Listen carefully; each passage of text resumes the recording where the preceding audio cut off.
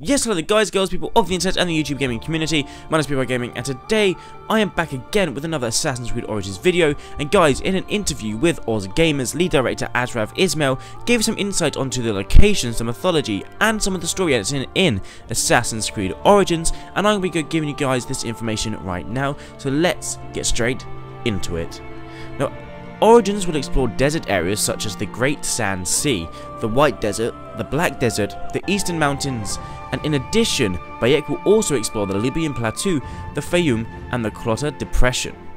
Alexandria will be more metropolit uh, metropolitan, organised, and an educated urban area. Now, ancient Memphis is old, and there will be vast caverns under the city and a whole labyrinth underneath it where you can carry out numerous quests and story-driven missions. Director Ashraf Ismail also stated that the game will question matters such as why some of the ancient Egyptian gods were animal-headed, as well as the identity of these masked figures, what's beneath the pyramids, and what's beneath the Sphinx. While director Ashraf Ismail did not comment on the present day of Origins, he did say, you've seen it in the demo, that there is an Animus, and the menu system is a representation of that. That's all we're going to say today. Regarding underwater exploration and occurrences, Ashraf Ismail stated, So, at some point, a hippo comes to attack the boat I was on. It attacks, does some damage. I'm trying to shoot it. I dive out of the boat to try and go under it so I can come up with basically how much damage it's doing to the boat. The boat starts sinking and I'm under it, so it's dragging me down. So I have to swim away from it. And I have this movement and moment where a hippo I was swimming in front of me, it's coming towards me. The ship I was on just crashing. And you know, I know this is what we have in the game because this is our game. But it was a moment of, oh, oh, okay, well done.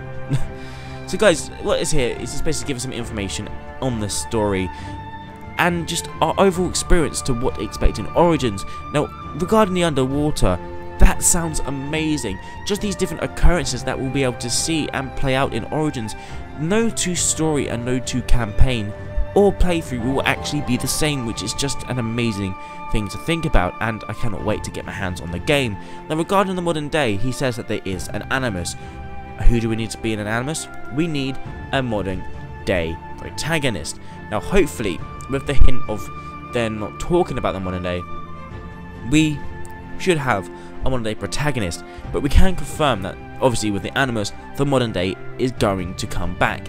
In which form, we don't quite know, but if the links link leaks are to be believed, then it will be a second modern day protagonist.